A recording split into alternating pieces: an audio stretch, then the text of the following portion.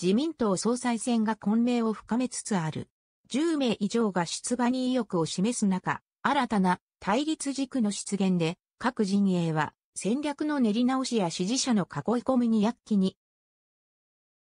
そんな中、安倍チルドレンを中心とした若手議員の間で、早くも決選投票に向けた極秘シナリオが囁かれているという。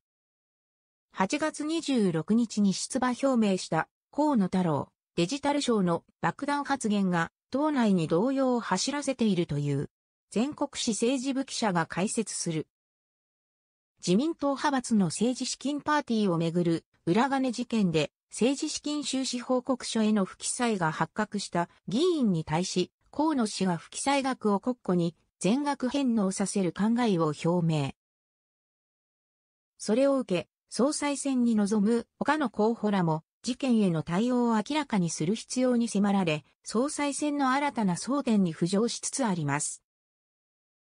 河野氏の返納発言に対し、石破茂元幹事長が議員の処分に関して一回決めたものを覆すのは、あるべきと思わないと話すと、茂木敏光幹事長も過去に訴求することはなかなか難しいと否定的な考えを示した。また、コバホークこと小林隆の前経済安全保障担当省もどのような根拠に基づいてどういう形でどこに返還されるのか確認していく必要があると河野発言に疑問を呈しましたが、その真意について様々な憶測が飛び交っています。というのも、小林氏の推薦人には、裏金事件で不記載の阻止を受けた議員も名を連ねる予定とされ、河野発言の影響遺憾によっては、自身の出馬戦略に影を落としかねないと噂されているのです。河野氏はそれを見越した上で乱立する候補者に向け、新たな対立軸をあえて打ち出したと指摘されています。このままだと選挙に落ちる。裏金事件では、最大派閥、安倍派に所属する議員の大半が、キックバックを受けていたことが明らかになっており、同派全体では5年間で6億円を超えるパーティー収入の不記載が判明。同派所属の安倍チルドレン池田義孝議員の逮捕にまで発展した経緯がある。自民党関係者の話。その安倍チルドレンを中心とした若手議員の間で、今、河野氏の発言に対する反発が広がっています。当選回数3から4改正以下の議員の多くは、小泉進次郎とコバホークを推していて、河野氏の発言はその盛り上がりに水を差しかねないと不評を買っている。その背景には、こんな呆れた事情があるという。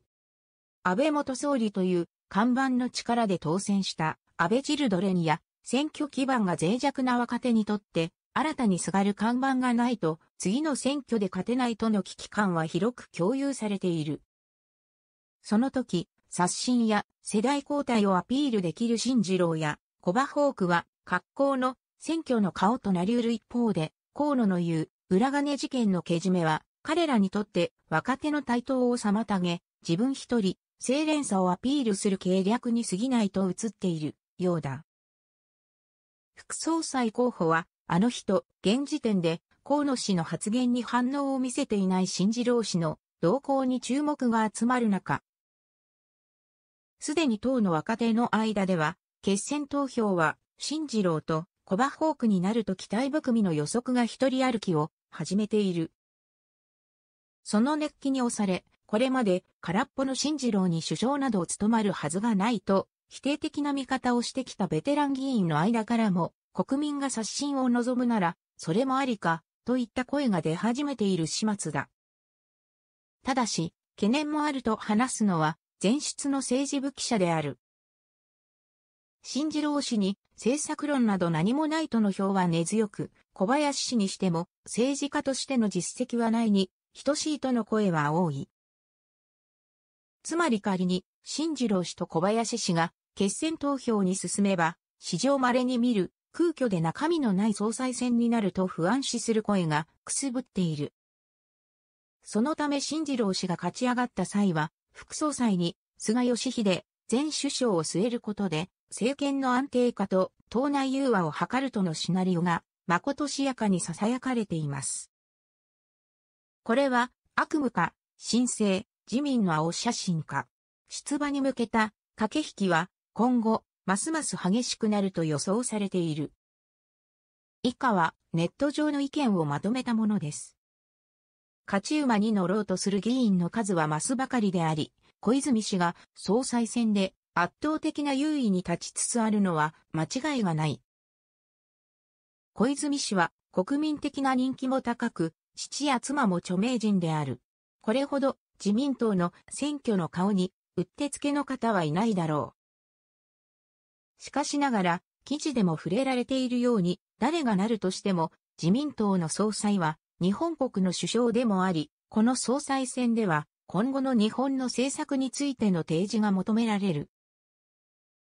それができなければ、選挙管理総裁として、短命の内閣となることが予想される。本格政権を目指すなら、しっかりとした国家政策が必要だ。総裁選は首相選でもあるのだ。小泉進次郎は自民党にとっては最後の鳥で、自民党議員は自身の保身のために人気者を選ぶだろうが、一国一城の主として国民から見ればかなり物足りなさを感じる。単なる人気投票ならいざ知らず、国の舵取りとしてはどうなのか、バックの昔の自民党大物が見え隠れする中で、裏金問題を国民が納得できる対応をやれるか、台風10号以上の疑問や不信が渦巻いています。この人から、確たる国家間、日本をどういう国にしたいかというビジョンを聞いたことがない。基本がわからないから、それを実現する手段、政策についても整然としたものが出てこない。時折批評家のようにトピックに飛びつき、注目されるようなコメントを発して人気を得るところは、かつての田中真紀子を彷彿とさせる。国連の環境関連の会議に環境省として出席して記者会見で当然予想された質問なのに石炭火力発電をどう減らすのか問われて絶句してしまったのには本当に呆れてしまった。タンカーの座礁事故の時も人事のようだ。父の小泉純一郎のように、防衛問題には関心が薄いらしく、厳しい安全保障環境の中で日本をどう守るか聞いたことがなく、先日の中国軍機による領空侵犯にも何らコメントがない。経済政策も何ら伝わってこない。とても国を任せられる人材ではない。監視をはじめ、結局自民党という組織は国にとって誰がふさわしいかではなく、組織の延命にとって誰が無難か、という発想でしか行動しない、ということです。それを、右合の州と称するのです。今、中国では、中共習近平指導部の数々の失策に対する大衆や軍部の不満がこれまでになく高まっていると言いますが、それらは決して対岸の火事ではないと感じます。中共は強権で押さえつけていますが、永田町はそれらを最低のポピュリズムでやり過ごそうとしているのでしょう。自民党、いや1955年の保守合同以来続いてきた体制の終わりの始まりを感じます。不穏なことは述べたくありませんが、こういう時に限って大災害など不測の事態が起きるのが歴史の習いなので、それが大変気になります。個人的な予測だが、小泉氏が決選投票に進む目はあると思うが、小林氏は決選投票には進めないのではないかと思う。ここで初めて出てきた人に対して島民病が積み上がるとは思いません。第1回目は島民病が集まらなければ決選投票には持ち込めない。